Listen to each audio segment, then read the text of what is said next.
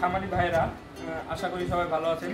আপনারা জানেন ফরিদপুর আরকে মেটাল বিভিন্ন ধরনের কৃষি যন্ত্রপাতি তৈরি এবং কৃষক পর্যায়ে বিক্রি করে। এর ধারাবাহিকতায় আজ আমরা আরকে মেটাল থেকে গরুর ঘাস এবং খড় কাটার একটি মেশিন আমরা মধুখালী উপজেলার কৃষক এবং খামারি উজ্জ্বল বিশ্বাসের কাছে আমরা বিক্রি করলাম।